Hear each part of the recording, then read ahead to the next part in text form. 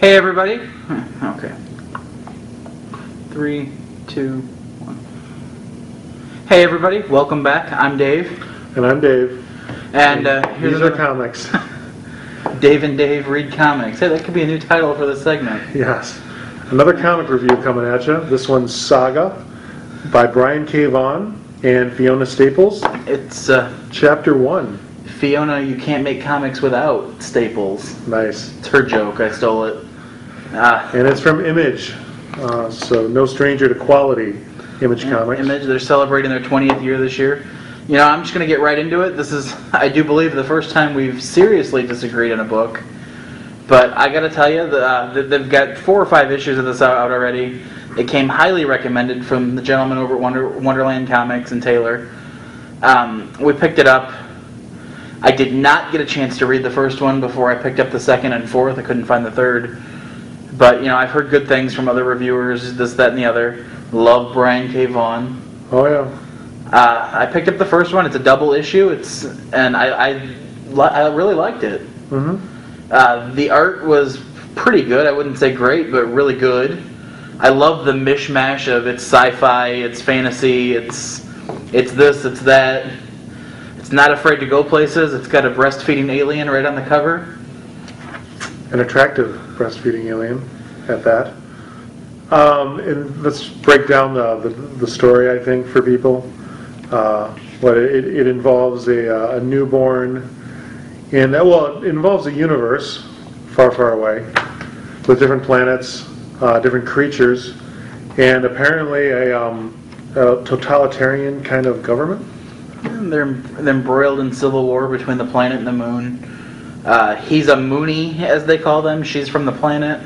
It's a mixed relationship, so they're outlaws. He's got like ram's horns on his head. Right. She's got wings, uh, whatever their races have developed into. Dogs and cats living together. Um, Total chaos. but this chapter one, I loved it. It start it starts right off with her giving birth right away.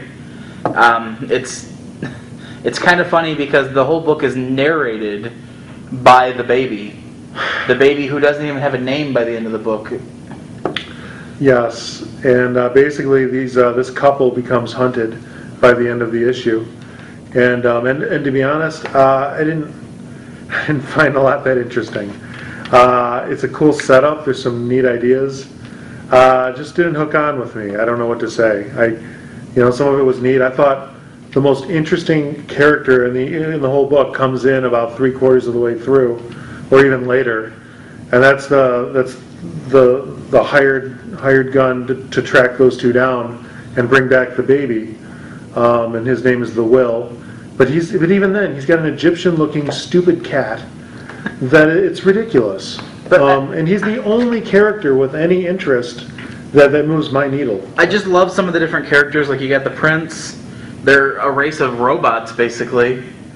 And like we're introduced to him, he's having sex with his partner. uh, t- it almost looks like they're tube heads or something. But it's weird because it's like a regular robot body and then all of a TV for a head. Right. But I just love, I, I love how it all me- meshes together. Mhm. Like, and, and the beauty of it is, yeah, it's sci-fi, yeah, it's fantasy, yeah, it's a romance story to a certain extent. It's a war movie or movie book story, however you want to say it.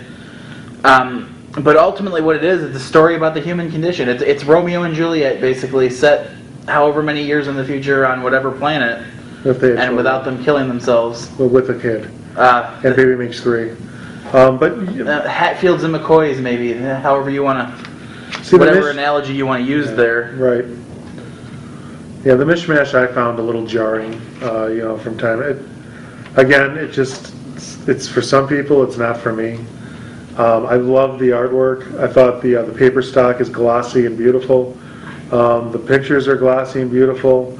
Uh, had some cool, really cool concepts. And like, Awesome splash This was right my favorite splash of the entire book. It's just amazing. Uh, Fiona Staples, it's not an artist I really knew much about coming in.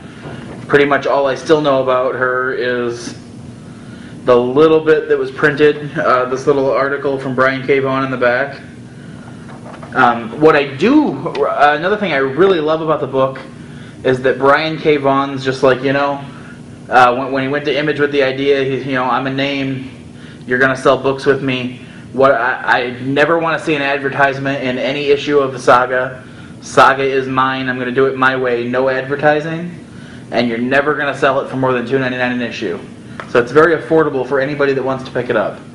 And the thing that's neat about it is, it's, uh, with this being a double issue, you literally feel like you're reading a graphic novel because of the lack of ads. And, um, and also the, just the, the amount of page content, uh, being that it is a double issue. And it, like I said, it's got some potential, I, I like some of the ideas in it. Again, you know, I just, uh, I, again, doesn't do much for me. So you know, give give it a rating, Mr. Komer. I give it a C plus. And see, I, I'm way at the other end of the spectrum here. It's one of the better books I think I've read in months. It's totally at least an A minus for me.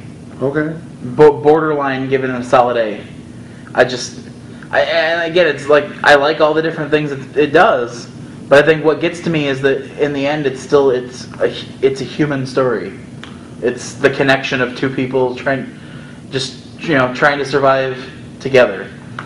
Like no, no matter how foreign it is, you know, whatever races, wherever it's at, whatever, you know, he carries a sword, she carries a blaster rifle, Mhm. blaster pistol, but whatever it is, it's still just it's a human story, and that's what pu- tugs at the heartstrings.